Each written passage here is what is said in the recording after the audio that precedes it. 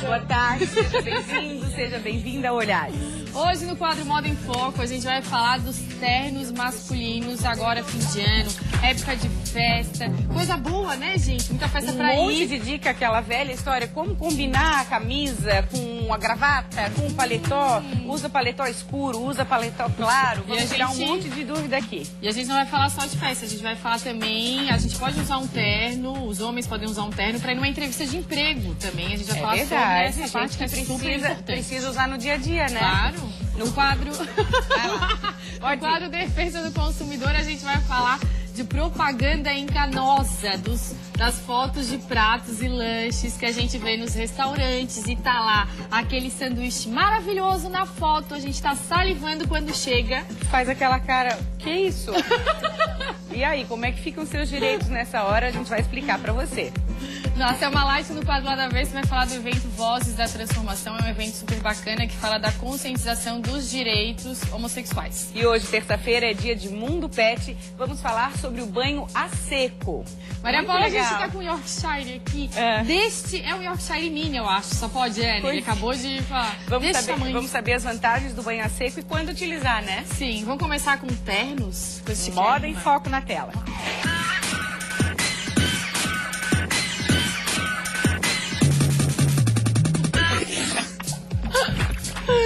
A gente já tá aqui com dois homens. Maria Paula, isso aqui, gente. Dois homens de terno, alinhadíssimos, nossos entrevistados. Estão até com cabelo assim, ó, bem Juliano e feito. Rodrigo, tudo bem? Tudo bem, muito obrigado pela oportunidade, pelo convite. Imagina, Imagina. a gente que agradece a presença. Vocês dois são consultores de moda. Consultores de moda. Né? E vocês entendem tudo de terno que a gente já sabe.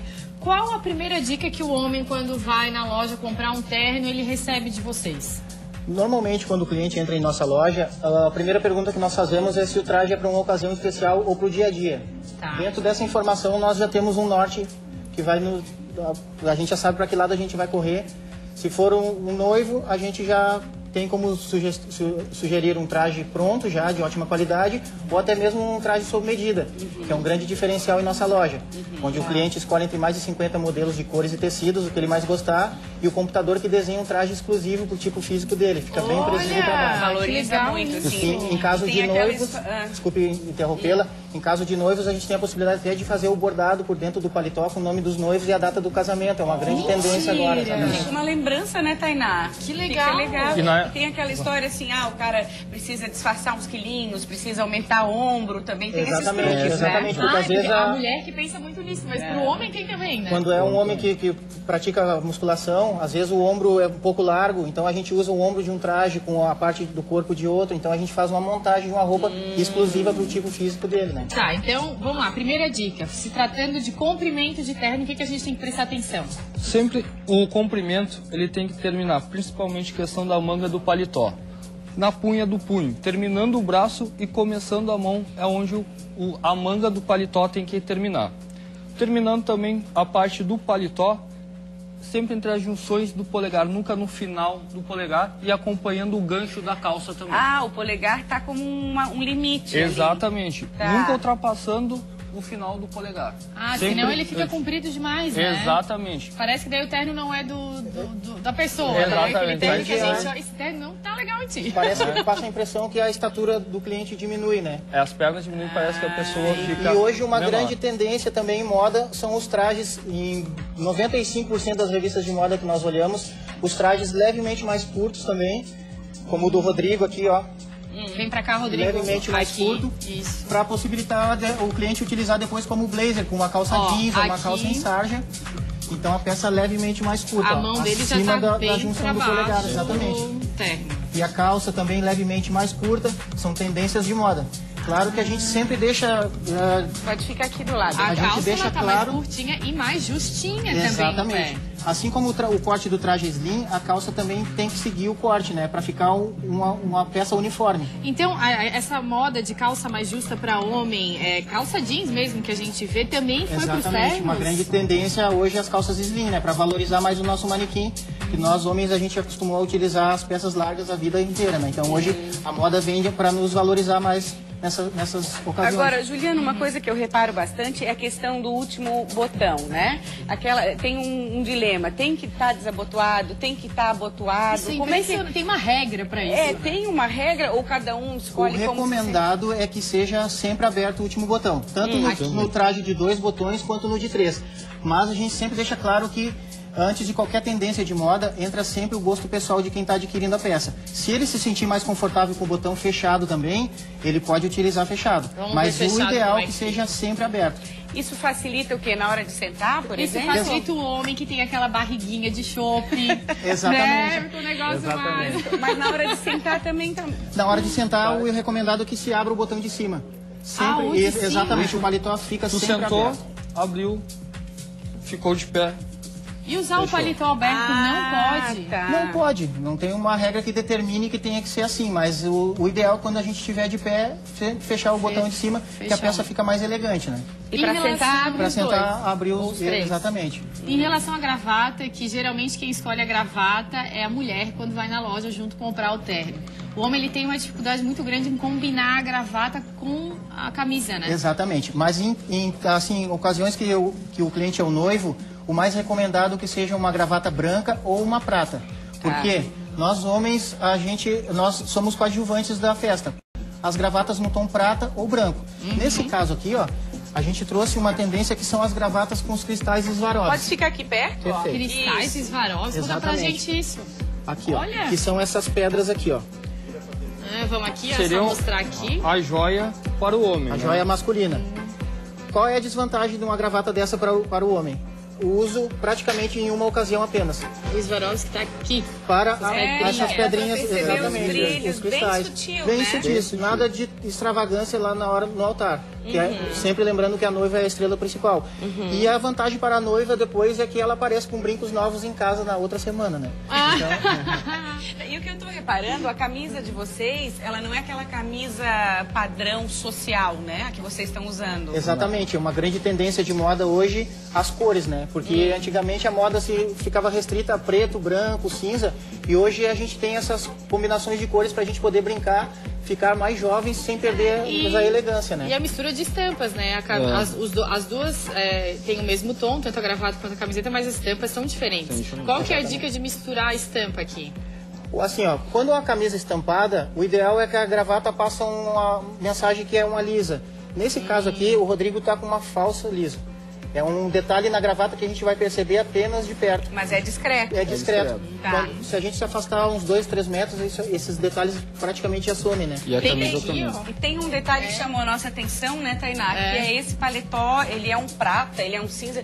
Os tecidos estão mais brilhosos. Deixa eu pegar aqui. Exatamente. É por aí? São, são tendências agora na moda também, Hum. porque nós homens normalmente a gente já fica um pouco apagado. Então essas peças vêm para trazer, um- dar um requinte a mais pro noivo, né? Nós homens, a gente já fica um pouco apagado. Não fala Vamos isso. brilhar, vamos o noivo brilhar. é fundamental no casamento, senão não existia casamento. Ah, então esses são mais para casamento. Exatamente, para dar um destaque maior para os noivos. E uma grande tendência agora nas lapelas são É os os pespontos. né? Deixa uma peça com um toque mais jovem Ah, e elegante ao mesmo tempo, exatamente. E esse brilho, aqui, ó. ela é um moer. Ela é de uma, ela é de uma lã de uma cabra da Turquia.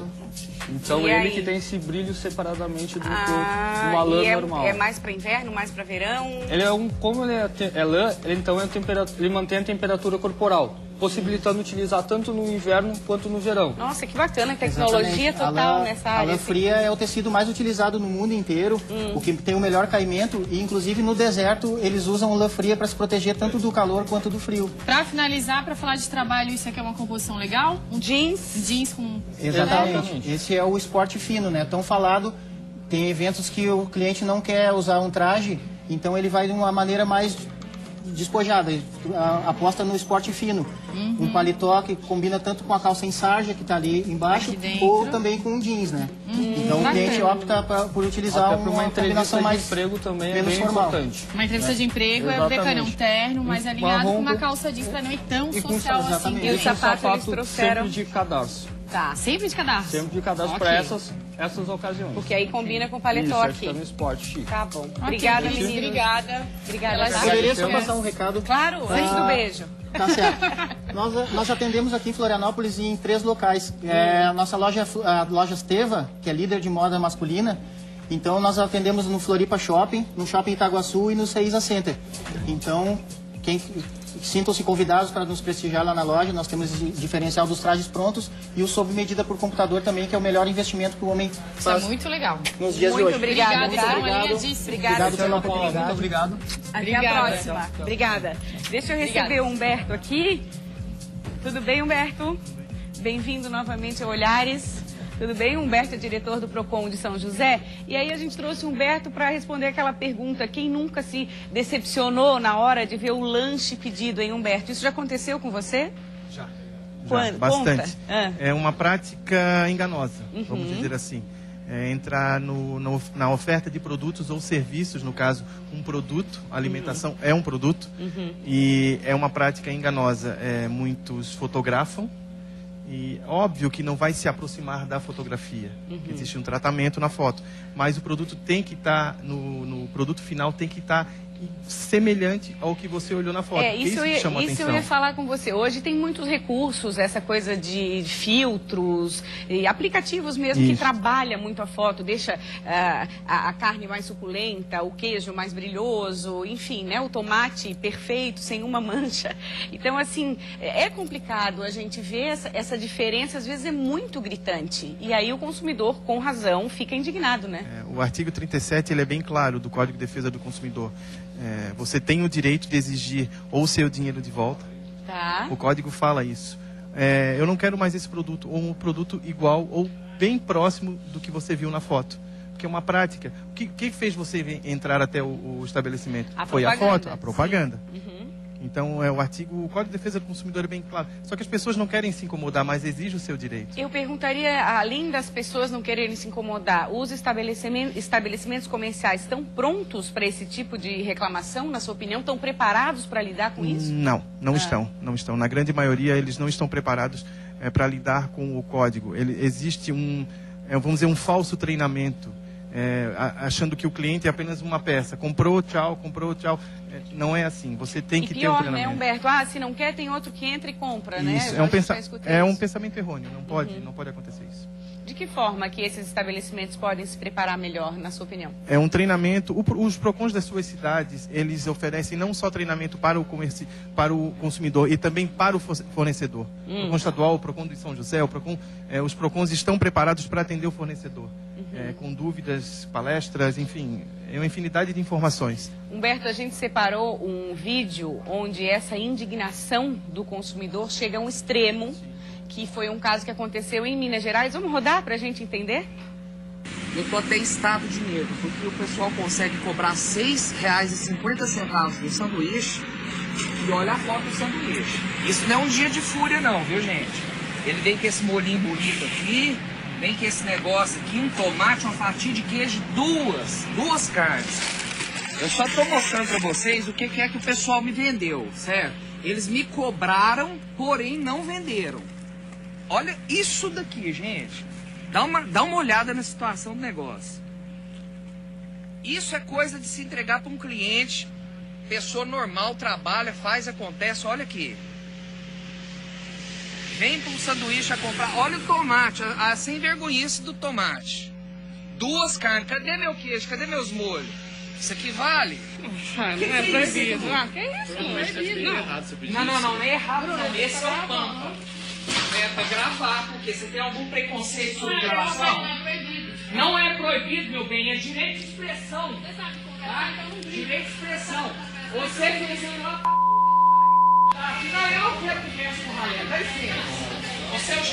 E aí foi toda essa briga dentro da loja. Ele chamou o gerente, o gerente bastante assustado com a situação, deu para ver assim um certo despreparo, porque não é sempre que acontece esse tipo de, de situação, mas acabou fazendo um outro lanche muito similar ao da foto e, e pagou inclusive o dinheiro da gasolina que o cliente exigiu da gasolina que fez ele voltar da onde ele chegou e abriu o sanduíche para voltar para a lanchonete para reclamar. Essa é a postura, uma postura dessa acaba eh, melhorando o serviço, na sua opinião? Se mais pessoas tomarem essa atitude, Humberto? É, eu acredito que sim. É, a prática, essa prática enganosa, essa prática abusiva, é, o consumidor ele exige o seu direito, tem que exigir o seu direito, ele está pagando. É, numa rede de fast food, o que, que acontece? Existe um despreparo, como você falou antes, mas tem que haver também um conhecimento do código. Por isso que quando o Procon vai fiscalizar, exige o Código de Defesa do Consumidor na loja. Geralmente eles têm na parede, só que aquilo ali é meramente ilustrativo, porque você não tem o entendimento do que, que é o Código de Defesa do Consumidor. Ele é muito amplo e você pode exigir esse direito. É, é um alerta para o fornecedor. O fornecedor é, que está praticando uma, uma está infringindo as, as regras, as leis, os artigos do código, ele pode ser penalizado sim. E o Procon da, da cidade ele está alerta para isso, para é, é, instruir o consumidor e também o fornecedor. Mas a prática desse consumidor neste vídeo foi correta. Ele tem que exigir o seu direito, a troca do produto. Não gostou do produto, devolva o produto. E eu acho que aí, a partir daí, o estabelecimento também fica com o olho mais aberto para não cometer esse tipo de, de infração, né? É, infelizmente tem que penalizar porque se você só instruir, instruir, acaba o fornecedor pratica de novo a mesma o mesmo erro e vai continuando porque a maioria das pessoas não reclamam o seu direito. E usar o bom senso, não mascarar tanto na hora de elaborar o cardápio ou que seja uma peça publicitária, não usar dessas ferramentas para enganar, já sabe que vai se incomodar lá na frente. É, porque muitos, é, desde é, fornecedores nacionais até multinacionais, usam uma prática da, da, elas, eles conduzem ao erro, eles levam ao erro o consumidor. Uhum. E tu na, na correria acabas com- consumindo, comprando, não ligas, mas tu tem que exigir o teu direito. E outro detalhe, agride a tua saúde também. É, vai saber se aquele tomate ou aquele queijo estava vencido. E aí? Ah, isso é um agride a perigo. saúde também. Pois o código é. também prevê isso. Uhum. É uma prática abusiva. Caso aconteça alguma coisa de a pessoa passar mal, também qual é o procedimento? É, pode tirar foto. Tá. É, nós não somos técnicos daquele produto, daquele alimento, mas a gente comprova, a gente não vai fazer juízo de valor, mas a gente comprova o que está na foto, na nota fiscal, exigir o direito do consumidor, E procurar o PROCON. com certeza. Falando em PROCON, você trouxe um guia que foi lançado recentemente pelo PROCON estadual. Vamos mostrar para o telespectador, já que esse espaço é disso. Fala um pouquinho, Humberto, onde é que as pessoas podem conseguir aqui o Guia do Consumidor Aprendendo com a Família PROCON Santa Catarina. É, é um guia, é um guia muito prático, é, em que o consumidor ele consegue, diz o número do artigo, mas é, conta histórias corriqueiras. É, a, a família vai às compras, a família vai no salão de beleza, a família vai à viagem, a esposa vai comprar os direitos e deveres de cada consumidor. É um guia muito prático, muito ilustrativo. É, o Procon de, de Santa Catarina foi muito feliz é, ao efetuar esse produto. Tô vendo, muito É, didático, muito, muito didático. legal. E Onde ele- conseguir? Nos Procons da cidade. Tá. Nós temos exemplares. O PROCON estadual ele distribuiu para os PROCONs municipais Uhum, para informar o consumidor. Muito prático. tá bom, parabéns. Obrigado. E muito obrigada. Obrigado você. Até a próxima oportunidade. Está chegando aí o Mundo Pet, Tainá.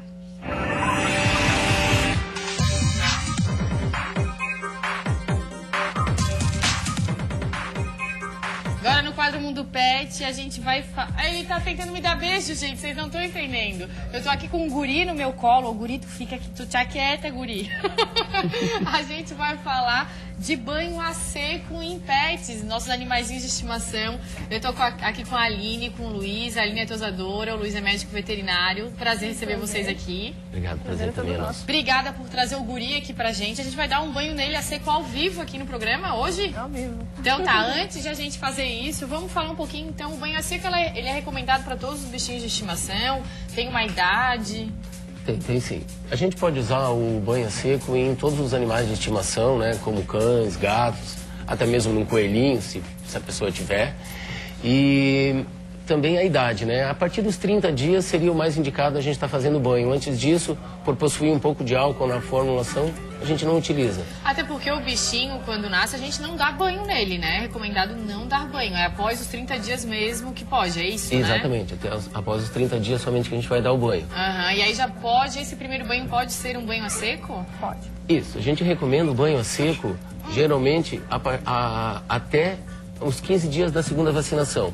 A Tá. partir desse período, o animalzinho já vai poder estar indo para o pet shop, poder estar Tá. em contato com outros animais, Sim. sem ter problema, né? Então ele Aham. já vai estar podendo tomar um banho com enxágue. Tá, esse banho eu tenho que ir necessariamente ao veterinário pra fazer, Aline? Ou não, eu posso fazer em casa, eu encontro o produto pra vender? Não, no pet você tu encontra produto de vários valores e pode fazer em casa, é tranquilo, é totalmente. É, no- é, assim, ó, super tranquilo de fazer, não tem segredo nenhum. e E pra eles também é super tranquilo, não tem estresse. Pois é, qual a diferença, né? Porque a gente sabe que botar um bicho pra tomar um banho não é das tarefas mais fáceis. Tem animal que realmente gosta, ainda mais no calor, no verão agora, mas tem bicho que realmente não gosta, né? Então é uma alternativa super bacana. É, é uma alternativa totalmente viável, é tranquilo pro, pro pet. Uhum. E também é melhor mandar pro banho tosa tomar banho. Tá. né? Sempre melhor. Mas no caso, se ele tiver com uma cirurgia feita há pouco tempo, que não tenha como estar levando por, por conta dos pontos e coisa e tal, então é mais fácil tu dar aquele banhozinho em casa, Sim. que nada mais é do que dar aquela limpada nos olhos, nas genitais do cachorro, pra estar deixando ele cheiro- cheirosinho no ambiente, porque normalmente fica dentro de casa. Sim. Então é super tranquilo. Luiz, o guri aqui é um Yorkshire, né? Isso. Tem alguma raça que não gosta de tomar banho mais especificamente, assim? Hum, eu acredito que é muito você acostumar o animal desde cedo Desde nessa novinho, parte da né? limpeza, É. né? A gente tem alguns animais, mas geralmente o comportamento do dono influencia bastante. Eles geralmente são calmos do pet. Uhum. Mas as meninas, como a Aline, por exemplo, as outras meninas que a gente tem lá no pet, elas têm um carinho todo especial. Uhum. E vou dizer, quem eles menos gostam é de mim mesmo, né? Daí elas, elas adoram, né? Ah, tá bom. Massagem, pentear, tá Elas fazendo aquele cafunézinho, né? Dos, E, animais, e eu fico com a né? parte chata, que é a parte da injeção, né? Então daí isso fica um pouco mais triste comigo. Então tá, ô Aline, a gente vai conseguir dar um banho nele a seco ao vivo aqui? Não, não vai água, né, gente? Não precisa nem se preocupar. Não vai molhar sem nada, não vai acontecer É nada. tranquilo. Tranquilo? Vai. Vamos tentar? Vamos. O guri que já deitou no Não, sofá, ele é já tá se totalmente- sentindo à vontade, entendeu? Ele é totalmente. Vamos lá. Não tem O segredo. que, que a gente precisa aqui? O que, que a A gente, gente tem aqui em precisa cima? de uma toalha limpa, Ok. Olha, eu achei que não precisava. Não tem água. uma toalhinha. Tá. Eu te ajudar A aqui. gente coloca ele. Uhum. Nossa, super tranquilo, Tem gente. um produto pra pro Qual que... seco. Não, vamos mostrar isso aqui. Esse aqui é um produto que a gente encontra nas lojas de pet shop, é isso? Das lojas de pet shop. Que produto é esse aqui que tá na minha mão? Esse é Dry Pet, da Ecobet. Ele é pra Ah. limpeza, pra banho seco. Pra banho a Isso, seco. específico de banho a seco. O que, que tem aqui dentro? É um líquido? É um líquido. Ah, tá. Eu achei que era um pó, sabe? Alguma coisa assim, Não, a tipo gente um passa. A gente passa na toalha. Ah, passa na tua. Na Vamos toalha. mostrar aqui, ok? A gente passa diretamente na toalha. Tá. É um Como ele tem um pouco né, de composição de álcool na fórmula, é melhor não passar diretamente no cachorro. Hum. Aí faz a gente faz a limpeza em volta Só vira um pouquinho ele pra lá pra gente ver o que, que tá fazendo isso. Em volta dos olhos. Gente, o guri, Não Luiz, diretamente. o que Ele é é isso? tranquilo, ele é né? super tranquilo, É, cara. ele é sossegado. E ele gosta de ficar Sossegado. bonito. Tu vê que ele é bem Ele faz cheiroso. mais sucesso com as É um meninas aí. bem cheiroso. Não, é isso que eu ia falar. Ele é um produto super cheiroso. Então, o cachorro, depois que toma esse banho a seco, ele parece que realmente tomou um banho com, com sabonete, com shampoo. É, não, cachorro. não é um banho de, com água, de enxágue. Tá. Sabe? Mas Mas, o cheirinho fica bom fica também. bom, fica tranquilo. E fica limpo tão quanto um banho a água ou dá aquela disfarçada Dá só pra dar uma. legal. Dar uma disfarçada. Dá uma disfarçada legal. Tá. Fica aí mesmo. Tu fica aqui, Guri, tu não cai daí. A gente faz a limpeza da pelagem, da mesma Tá. forma. Não tem uma técnica, é só ir passando É só ir tranquilamente. E De gato? preferência, sempre no sentido do pelo, como o caso do, do guri, ele é um York, tem o pelo longo. Então, sempre no sentido do pelo, até melhor pra escovar depois, pra estar cuidando do pelo dele. Tá, primeiro você passou no rosto, No no, rosto. rostinho, no focinho, limpou. Depois o corpo, né? Tá, nas patinhas. E agora a gente vai pra genitália dele. Tá. Tem que limpar Que é as onde- partes íntimas, Tem. né, gente? Que é onde Fala eles fazem, fica xixi, né? Normalmente. Muito legal. Em gato, pode ser. Gato não gosta de tomar banho. Isso aí deve ser uma maravilha pra gato, né? Gato também, super tranquilo. Uhum. E um potezinho desse, então, pelo que eu tô vendo aqui, dura bastante, né, Aline? É Porque tá vendo que não tem segredo, é no corpo, nas genitalias e. Uhum. Tá, ok, tomou banho. Ficou úmido, né? Aham. Ficou meio úmido. Que por que é isso aqui? Esse é um perfume. Ah, depois, por Esse, último. Se a pessoa tiver em casa, se quiser passar, Tá. é opcional. Tá, e o secador ali tá fazendo o quê Nossa, a gente passa um perfuminho nele, Ah, cuidado passa com os olhos. Deixa eu ver se tá vamos-. Nossa, tá uma... Vai desmontar agora. E agora é o secador, né? Tá. A temperatura do secador é uma Pera aí, eu temperatura... não sei se o pessoal tá escutando em casa, Tá tá? escutando? Tá escutando? Pode, pode continuar a falar. A temperatura do secador é, um- é a temperatura média, tá? Não quente demais. Não Porque pode ser quente. E é obrigado a passar o É. secador Pra depois? deixar bem sequinho, não deixar a umidade no chão. É sempre bom estar passando Não, e olha ele, gente. Gente, ele é tranquilo demais, né? Ele é muito É, ele é muito tranquilo, tranquilo. cara. Tá, tá- tá parecendo um tapete, assim, em cima da mesa.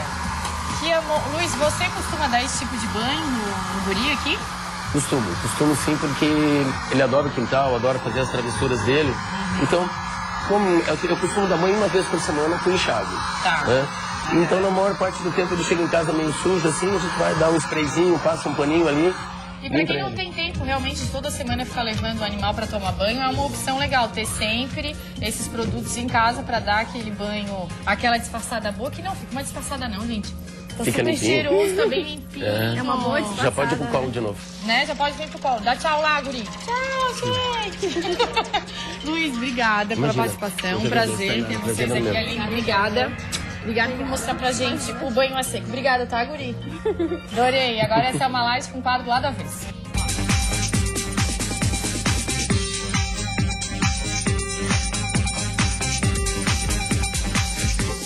E hoje eu vou conversar com uma turma aqui muito legal para falar de um evento que está acontecendo em Florianópolis.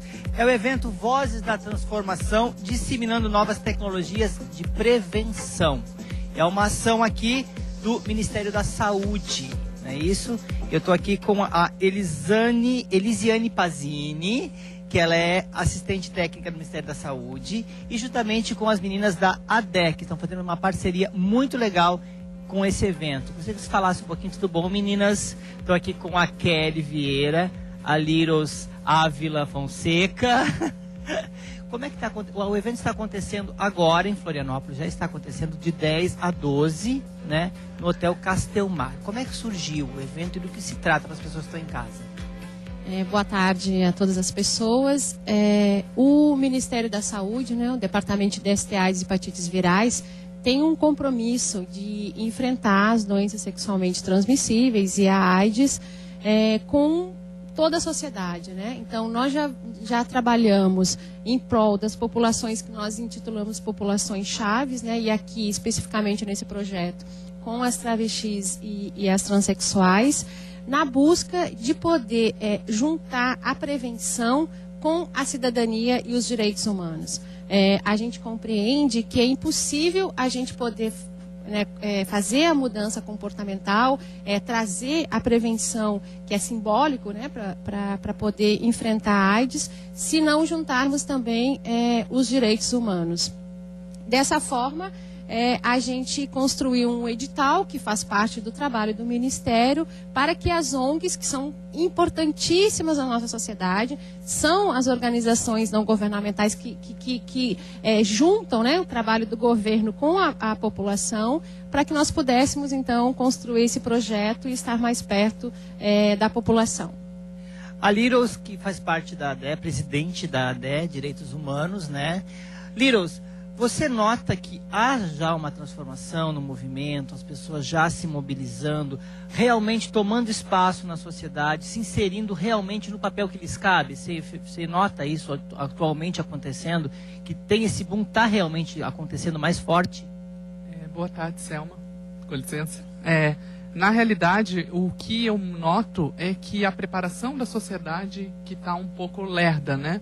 Porque mulheres, homens e mulheres trans estão ocupando outros lugares, isso está visível, mas parece que a sociedade, os gestores, eles não estão é, preparados ainda para lidar com essa nova realidade, né? Então, o, e esse projeto, ele faz exatamente isso. Ele também auxilia as meninas a, a caminharem e conhecer novos espaços, né? Porque a autoestima é algo muito importante. Eu acho que a, a, a, pessoa, a, pessoa, se conscientizar primeiro, né, Kelly? Se conscientizar de que ela faz parte de uma sociedade, ela tem seus direitos, sim, mas muito além dos seus direitos, tem os seus deveres, né? Que é o dever de, é, é, de conscientização, no caso da saúde, no, né? Não, eu tenho que botar limite nisso, eu tenho que me prevenir, eu tenho que prevenir as pessoas também Selma, muito importante que você falou, é, é, é prevenção. Essa é a grande função. Né? O Ministério tem incentivado cada vez mais ação entre pares, e isso é muito importante, né? frisar, para se levantar a prevenção. São 30 anos de epidemia, 31 que está se fazendo agora, 30 anos de epidemia, em que começa lá atrás a tal peste gay, tão pejorativo em cima né, é, é, de um público específico. Hoje a gente tem uma certa democratização da AIDS. A gente fala de feminização, a gente fala né, da epidemia como um todo no coletivo. Porém, ainda há de se frisar que tem a necessidade de trabalhar certas populações porque estão muito mais vulneráveis, tendo em vista uma sociedade que ainda rejeita, que ainda condena, que ainda leva margem, o acesso à saúde ainda é, é, é, é tem certa dificuldade. Então, esse evento que está acontecendo na cidade é para avaliar uma ação já, que já está acontecendo há dois anos, financiada pelo Ministério da Saúde, justamente levando, descentralizando informação, novas tecnologias de prevenção, como o teu programa tem, né, dá sempre esse espaço, o teste de fluido oral, por exemplo, é um deles. Sim, sim. Só para frisar, para a gente encerrar aqui, o nosso tempo está acabando, o horário e o local. O local acontece no Hotel Castelmar, que é no centro de Floripa, muito conhecido o Hotel Castelmar. A entrada totalmente gratuita e liberada. E quais os horários? Então, é das 9 da manhã ao meio-dia, das, uh, das 13h30 até as 17h30. É, uh, isso uh, iniciou ontem, vai até amanhã, quarta-feira, dia 12, né? Onde tem o um encerramento às 18 horas. Ou seja, meninas, só tenho a agradecer vocês imensamente. Sucesso pelo evento. Parabéns pela iniciativa, o trabalho de vocês. Eu não canso de exaltar aqui no programa o trabalho da ADE e agora justamente com o Ministério Público, só ganhando mais corpo ainda. Obrigada, viu? E sucesso. Meninas! Oi, amor! Ai, amores, agora estamos lindas, cheirosas e gostosas, Eu tô né? com o cheiro do guri aqui. Banhadas. O estúdio ficou super cheiroso a história do, do banho a seco. Todo mundo tomou banho junto. Uma delícia. Beijo, Selma, até obrigada. quinta. Beijo, até Obrigada pela discussão, tá? Muito boa. Amanhã a gente volta com mais olhares. Um beijo. Instagram do Olhares qual que é? Arroba programa Olhares. facebook.com barra programa Olhares. Segue a gente, tá? Obrigada pela companhia. Amanhã tem mais. Até lá. destino não poder tocar você. Abrazarte y sentir la magia de tu olor. Bailando.